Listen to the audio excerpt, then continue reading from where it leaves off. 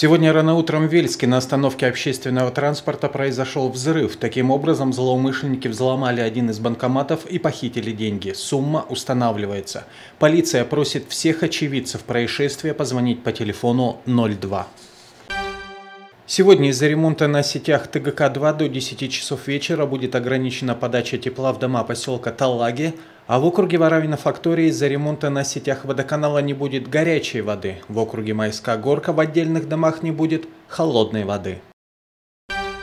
За взятку в полмиллиона рублей в Архангельске арестованы два специалиста регионального Росприроднадзора. Их задержали сотрудники ФСБ. Возбуждено уголовное дело.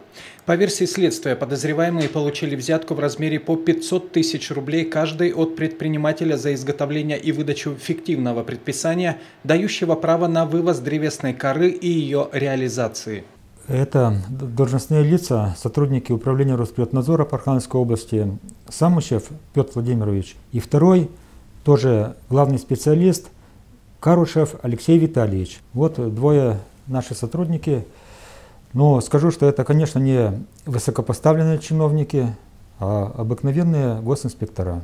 И с 10 октября должностных обязанностей они не исполняют. В настоящее время они числятся за своими должностями, но мною издан приказ, согласно которому э, денежное содержание им не выплачиваться с начала ареста. Конечно, коллектив был э, ну, как бы шокирован, потому что э, сотрудники характеризовались положительно по работе. Ломоносовский суд Архангельска удовлетворил ходатайство следователя и избрал в отношении подозреваемых меру пресечения в виде заключения под стражу. Архангельская область занимает второе место среднедушевого продовольственного пайка. Это по данным Министерства экономического развития России. В Поморье минимальный набор оценен в 4426 рублей. Для сравнения в Москве эта цифра 4409.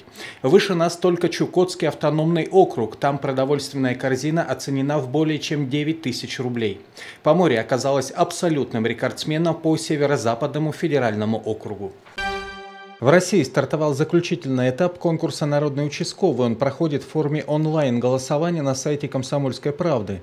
Наш регион представляет лейтенант полиции Северодвинска Денис Исаков. Победитель конкурса получит автомобиль УАЗ «Патриот».